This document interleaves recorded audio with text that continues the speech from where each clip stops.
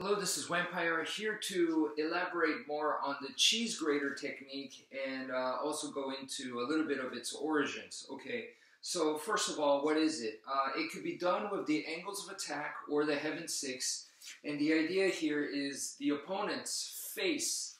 You're targeting the face, all the sensitive area, so eyes, nose, and ears. It's all game. You're trying to avoid the mouth, of course, but pretty much the face and you're just going to grind your fist, your palm, your forearm, and your elbow right onto that area. Okay, it's a continuous grind. That's what you're doing. Now, um, the pattern that we're using here comes from once again the angles of attack and the heaven six techniques. So it's something that you should have a lot of mileage in. It's something that we practice with all the time with the sticks. So the angles of attack one, two, three, four, and five, and of course the heaven six, right? So this is the motion that we're doing, you know, right onto their face. Okay, let's think about that. Let's think about it. A, it's it's really good because it's a motion that's you practice all day long, so it's in your muscle memory, right? B, when you hear about self defense, a lot of instructors teach in a no nonsense situation, attack the eyes. That's that's what they tell you, right? Attack the eyes. But when they say attack the eyes and you go, yeah, okay, that sounds effective, right? I, I want something that I could take out my opponent, a place where they cannot train, they cannot protect, right? So no matter how big, strong they are, the eyes are still going to be a weak spot, no matter what. Even in the animal kingdom. In fact, I've heard of uh, at least one shark attack case where the person was attacked by a shark and he squeezed the eyes and the shark let him go. So at least in one situation, you know, a guy survived a freaking shark attack by attacking the eyes. Okay? So I can understand that. Attacking the eyes, very, very effective, very brutal and vicious technique. Now, it's easy to understand that, but then can you use it in a real life situation? In a real life situation, you go, yeah, yeah, yeah, of course. I mean, I'm on the street and this dude suddenly attacks me and I don't know this guy. Of course, yeah, I'll attack him right in the eyes. It's easy to say that. It's very, very easy to say that. If you, that means that you're going from zero to a 100% vicious attack, okay? If you can do that where this guy came unexpected and, and you know, was, was attacking you and you just went from zero to that, you're probably bipolar, okay?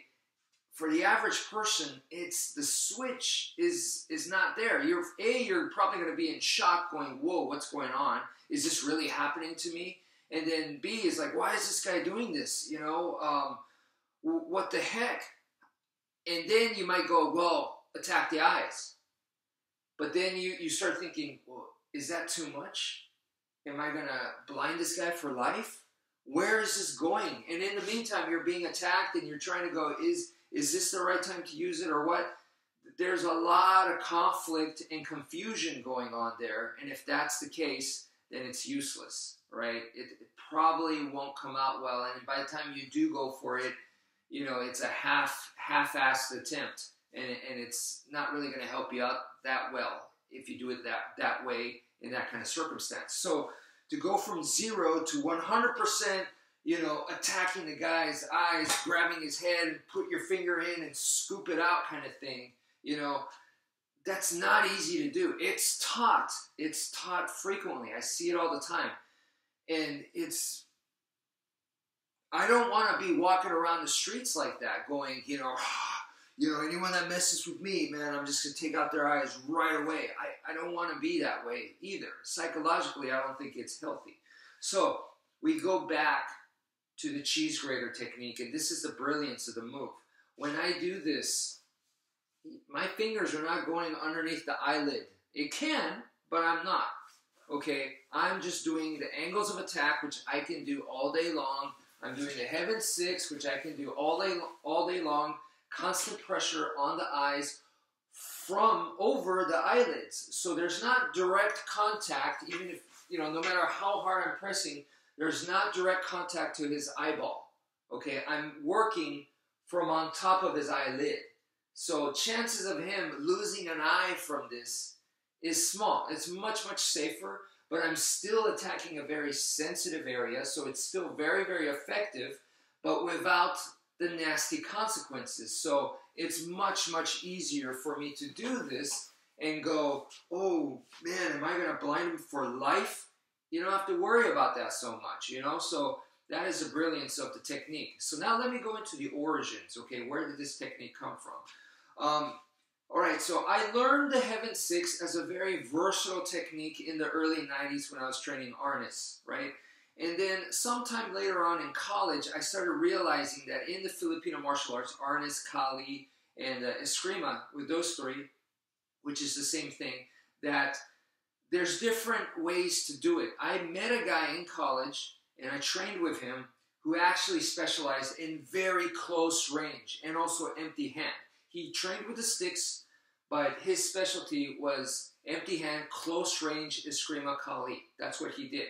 Okay. And then I remember reading, I don't know if it was Black Belt magazine at the time, but I was reading about, uh, I think, I, I, don't even remember Eskrima Kali Arnis, but it was a far away style, long range style of fighting with the sticks, right?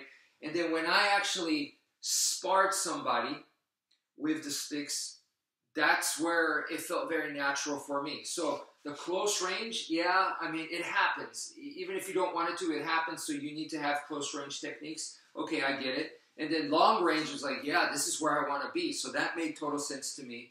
What I personally learned was pretty much medium range uh, usage. And honestly, I didn't understand how much I didn't understand about medium range. But I learned those three ranges by the time I was in college. I was I was learning about it. I was experiencing them in the Filipino martial arts. Okay, so then somewhere in my head, I, I got it that the Heaven Six then should be able to be done in all three of those ranges. I mean, um, for me, there's long range, medium range, close range, and then ground range. So there's actually four ranges. So in my mind, it was like I should be able to do the Heaven Six in all four ranges, all right, because it's a versatile Swiss Army knife of martial arts techniques. Okay, so in long range, how do I do it? Well, when the person attacks, I'm attacking their arm. Okay, so that works. Okay, that's easy to understand. I get it.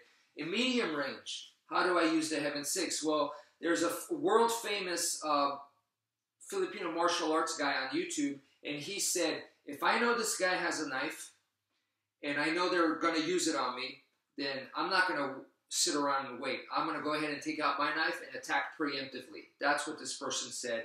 That makes total sense to me. I'm not saying that that's the way you should go or that I would do that, but I understand what he's saying. Okay, so that's medium range. I get that. With the knife, it's it's great. Okay, so now close range. In close range, how do I use the Heaven Six? And it was pretty much like, okay, that comes from knife work. So in knife work, what do we do in close range? Well, it's the reverse grip, or should we say the ice pick grip.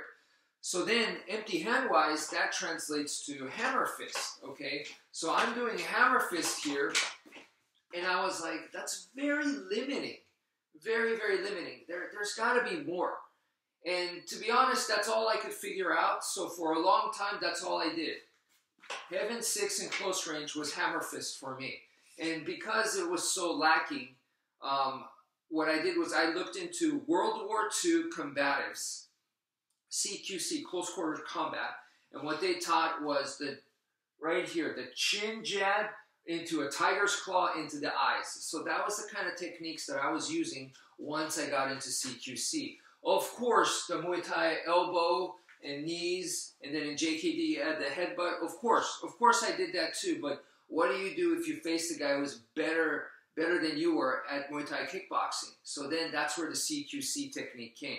But that wasn't satisfying for me because I knew that Filipino martial arts had more to offer. So I was thinking, and that's when I, I was discovering the wedge technique. When I saw the Filipino martial arts masters over in the Philippines, they, for empty hand, they were using a lot of palm strikes, right? And then for me, before I saw that stuff, when I went to empty hand, I used fist, of course, but what was even better was the chop. Why? Because of the blade. We I trained with the blades. There's a lot of Filipino martial arts people that focus on knife work and blade work. So then it just made sense. So with a short weapon like my hand, rather than a stick, I'm going to use the chop. The chop is kind of a blade right here. So this this made sense. But then when I saw the Filipino masters on video, what they were doing was open hand. So it was it wasn't the chop, but it was a it was a palm strike like this, or more like a slap. So then I was like, well, why don't I combine the two, which is kind of like what I do, which I train both. And as I was training both, I was using both. I was using palm strikes and chops, and then somewhere along the lines, I discovered the wedge, which is right in between. It's a combination between a chop and a palm strike. You, you put it together, mix it together, and, and the baby is the wedge. And once you understand the wedge and you start using it, it's kind of like a chop at an angle, but it's kind of like a palm strike. When you start doing that, then you see that the forearm comes into play and the elbow can come into play too. So that one move, the wedge, linked the palm strike, the chop, the forearm strike, and the elbow all together, right? So once you start doing the heaven six now, instead of just doing the hammer fist here, I started using the wedge. It was all, that's the transition. That's what made it to where, okay, now I can grind. I can grind my forearm, my elbow, my whole hand into the opponent. And that's when it made sense to me. This is how we use, use it in close range. And the grinding part real quick, in finishing, let me talk about the, the grinding was uh, when back in college, when I was also training in grappling, I went to a school. It was a very rough and tough school. It was a fight school.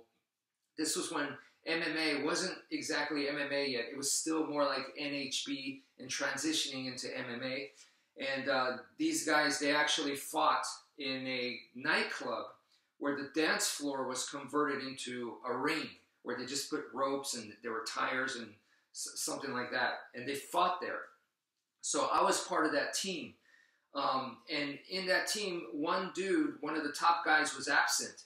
And the teacher's like, okay, what do you guys want to learn today? And, and one guy said, well, you know, the guy that's not here today, he grinds a lot. And, and uh, how do we deal with that? And he was like, he grinds because he's stupid. You know, none of the high level guys grind. And we're like, okay, that might be true, but we're all having a very tough time with this guy. We're, we're all having a very tough time dealing with the grinding. So then he was like, well, if he grinds you, grind him back. And we're like, okay, that makes sense, but we don't know how to grind. So he was like, all right, today's class is going to be all, all about grinding. And he showed us how to grind. It was elbows, forearms. It was just brutal. Everybody was screaming in the class. Um, and the instructor was a little bit sadistic for sure. It was extremely painful, but stuck in my mind. Okay, so that's what I'm doing here. I am grinding using the Heaven Six techniques, using the wedge technique, all that put together with the grinding that I learned from grappling, and suddenly now we have the cheese grater. So that's it for now. Thank you for watching, and take care, folks.